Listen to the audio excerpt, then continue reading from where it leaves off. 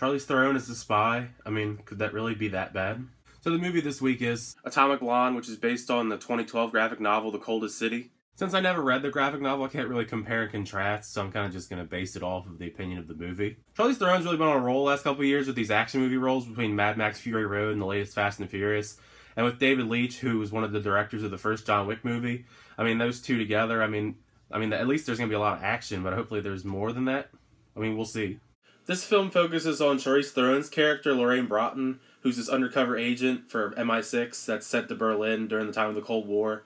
Her main tasks really are just investigating this fellow agent's death, and she also has to recover this list that was stolen from him as well, due to the fact that the list is basically a record of all the different double agents in the agency. Going into this, I was definitely expecting a lot of action due to the fact that, you know, if you watch any trailer or TV spot for this movie, it's filled with action and looks awesome.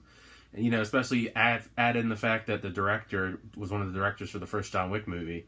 But I mean, the action for the most part, just I thought was decent. Don't get me wrong, none of the action's bad at all. But I mean, in this genre, it's just more of the same. If you've seen any John Wick, you know, Jason Bourne or any James Bond movie, it's just like that. Just this time, it's a female kicking all the asses, which I'm okay with, you know, as long as they do it right. Charlize Theron is definitely a badass in this movie, I have to admit.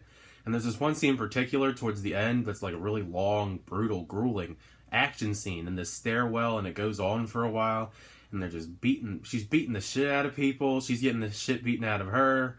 You know long scenes like no cuts really and it just goes on for forever and it's awesome. I have to admit that's probably my favorite action scene of the whole movie some of the style choices were hit and miss because i thought all the neon colors you know it's very 80s it's very cool i like that and I like some of the soundtrack, but some of the songs they play, you know, especially with the way that they're played, like sometimes it's cool, and then sometimes it kind of just ruins the whole mood of the scene because it's kind of like the way with Suicide Squad using all the music, and it just I just didn't like it that much. The story for this movie isn't really that new either. I mean, it's a standard spy movie concept. You know, there's something valuable that a bunch of different parties obviously want because they can use it in very different ways depending on who has it.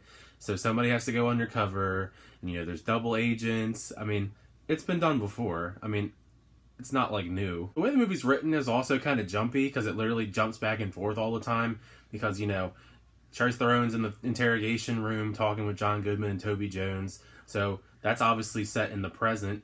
And then they got to go tell her story because she's telling it to them. Then they always cut back to them in the interrogation room, you know, talking a little bit more. And then they cut back to the past story that we're trying to follow.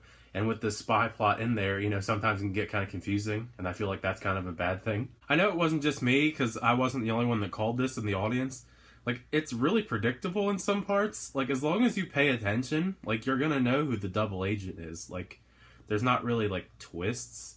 It's not like that hard to figure out as long as you use your brain. Plus, you know, no matter what, Charlize Theron makes it out alive due to the fact that she's doing these interrogation scenes explaining the whole movie to us. So, I mean, there's not really that, like, you know, if is she gonna die? Is she not gonna die? I mean, because she obviously lives.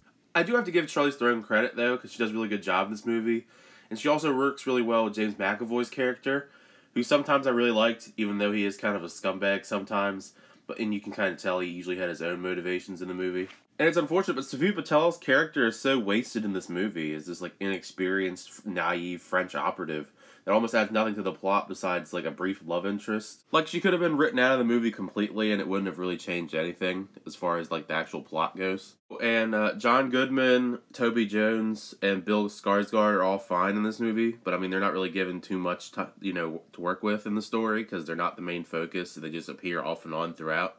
But anyway, to get to my score for the movie, I'd have to give Atomic Blonde a C. Even though the whole story aspect of this movie isn't the greatest and it's nothing innovative or new, I mean, a lot of the action scenes are pretty fun. Charlize Theron and James McAvoy give really good performances. And if you like action, I definitely think you could at least enjoy it a little bit. But anyway, thanks for checking out my video for Atomic Blonde. Feel free to leave a like, comment, subscribe, all that jazz. And until next time, I'll see you guys later.